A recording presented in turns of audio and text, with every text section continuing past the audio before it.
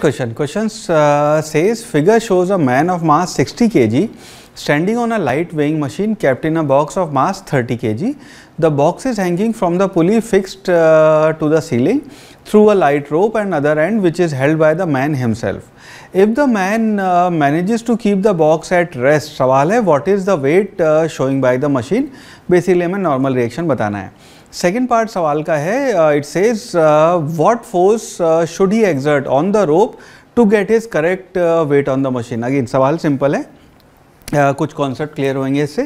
तो स्नैरियो ये है कि ये आपकी एक पुली पुली से आपने एक ऐसे बॉक्स लटकाया हुआ है और उस बॉक्स के अंदर एक बंदा खड़ा है ऑन अ वेइंग मशीन ठीक है?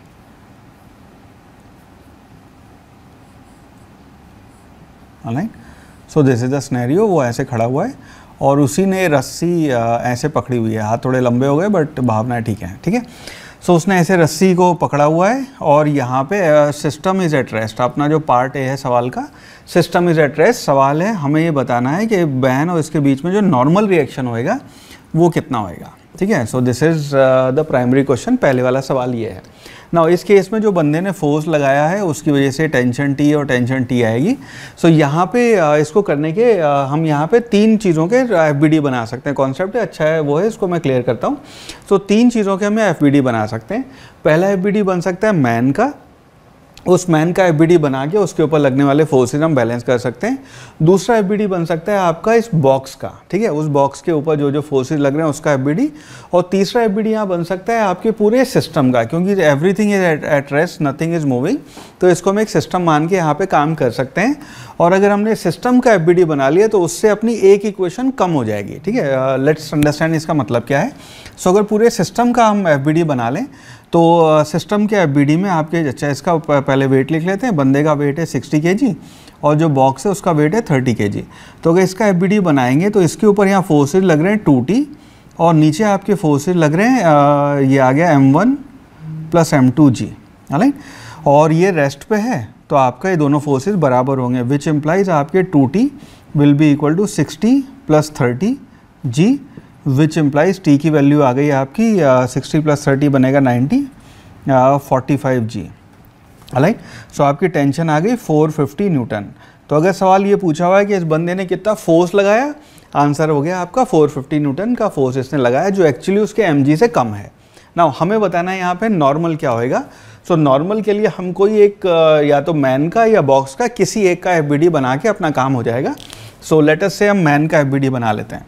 सो मैन का एफबीडी जब बनेगा सो so, उस केस में मैन के ऊपर फोर्सेस देखेंगे तो नीचे तो लगा उसका एमजी और ऊपर फोर्स लगा tension plus normal so so, इसके ऊपर नॉर्मल ऊपर लगा टेंशन इसने ऊपर लगाया ये आपके दो फोर्सेस लगे.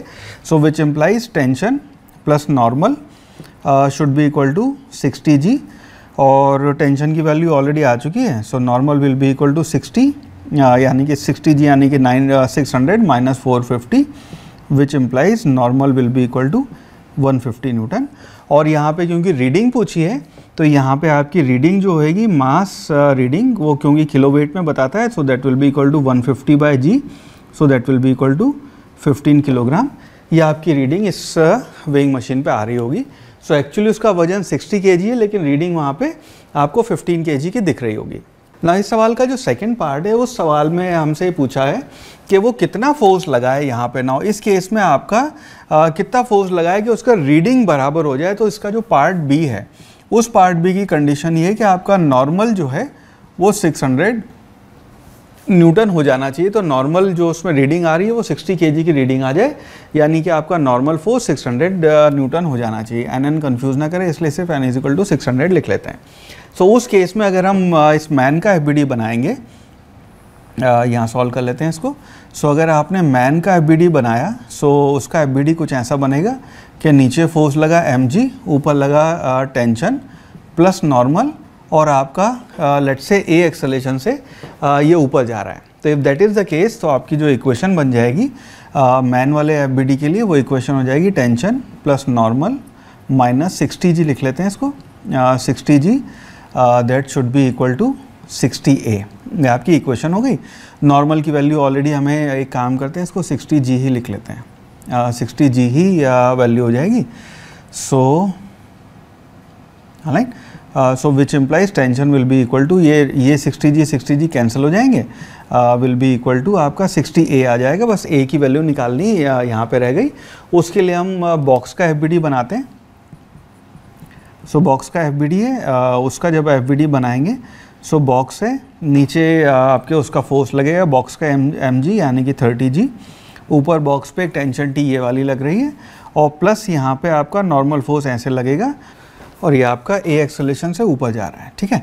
सो so, इसकी इक्वेशन बन जाएगी आपकी T minus thirty G minus N will be equal to thirty A ना एन की वैल्यू अपनी ऑलरेडी सिक्सटी जी है और टी की वैल्यू अपनी ऑलरेडी आ चुकी है तो इसको हम लिख सकते हैं sixty A minus thirty G minus sixty G will be equal to thirty A इसको इधर ले आते हैं so this will be equal to thirty A इस सबको इधर ले जाते हैं will be equal to ninety G which implies आपकी ए की जो वैल्यू है ए uh, की जो वैल्यू है वो आ गई थ्री जी राइट और इसकी वैल्यू अगर हम यहाँ इक्वेशन में रख देंगे so which implies T will be equal to sixty multiplied by three G so which implies T will be equal to eighteen hundred newton ये हमारा फाइनल आंसर हो जाएगा कि इतना फोर्स अब लगाना होगा सो so दैट आपकी वेट uh, जो या उसकी रीडिंग जो है वो एग्जैक्टली सेम सिक्सटी के जी ओरिजिनल के बराबर आ जाए।